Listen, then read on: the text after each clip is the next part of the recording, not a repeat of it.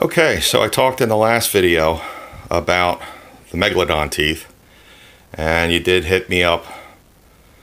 You know, I did mention that I had one day where I actually found five uh, very nice teeth, and uh, with friends we've picked out eight total within a very short, maybe 50, 100 yard section of beach.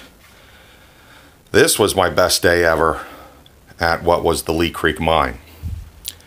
So I told the story earlier about this beautiful little tiger burlap tooth found in some James uh, City overburden and really it's out of the uh, Yorktown formation that was just underneath. This was an, a trash find. Somebody had uh, stomped on it, didn't realize or didn't care about ray teeth or dental plates. plates. Uh, they're looking for probably just fast tracking looking for big things just sticking out and not caring uh, to slow down and maybe possibly see little things. So I honestly forget the order of when I found what. I believe that was first in the morning. Then I found that tooth. Um, again, these pictures are from old flip phones, so I'm amazed that the quality is still pretty good, but I had created these images um, for displays. So uh, a few of you may notice these from being on display at uh, the Delaware Valley Paleontological Society, the DVPS. Um, they have an annual fossil fair, and I usually put out one or two or three um, exhibits so folks can just see what kind of fossils are out there. So I had already had a great day finding these two. And again, I think I found this first and then found that and thought my day couldn't get any better.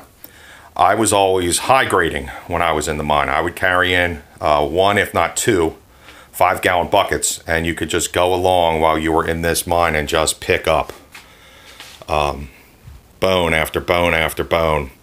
Uh, because it was dumped by these huge uh, machineries, you know, they, these these scoops on these drag lines, uh, where the scoops contained enough sediment to fill a two-car garage. They were just massive, and when that sediment just hit uh, from being dropped the 80 some feet, it just spread out everywhere, exploded.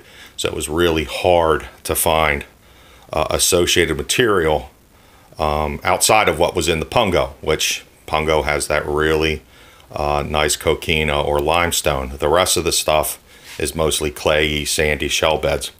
But uh, this day I had stopped, and you know, you've heard this in some of my other videos. You stop, you slow down, you take a break, you take a breather, you reset. And I leaned over and looked into a block, a huge block of clay next to me.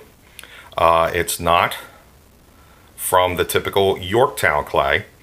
And so I wasn't really paying attention to it. And I looked over and saw the start of two vertebrae. And I started digging and digging and digging. And this is what I ended up with. Basically, a whale's tail. So there's one, two, three, four, five, six, seven, eight, uh, and a decent amount of a ninth vertebra. Um, they're young. You can see that the caps are loose. So this was still a juvenile. Uh, according to Dr. Dooley at the Virginia Museum of Natural History, the shape of these caudal vertebrae vertebra going from this almost squarish and then building rather largely, uh, he believes this is a sperm whale. So I was really excited to actually find an associated remain of sperm whale. Um, of course, I'd rather have the other end of it. I would much rather have the head with teeth uh, than uh, a tail, uh, you know, the whale butt. But um, I was just dumbfounded. So I dumped out all the bones that I had in my bucket, started digging this thing out. Uh, that knife, some of you uh, Semper Fi people might remember that. That was my father in law's. Um, knife from his days in the Marine Corps, and that was my trusted uh, tool out in the field for many a year. But this, uh, like I said, you would have seen this on exhibit a couple times at the DVPS. This was the best day of collecting I ever had, um, where I was in the field able to keep everything myself. I've been able to find some really cool things uh, that have gone to the Calvert Museum. But as for me, uh, being able to collect such a amount of quality and quantity, um, I don't think I'm ever going to beat this day unless we ever get back into that Lee Creek mine.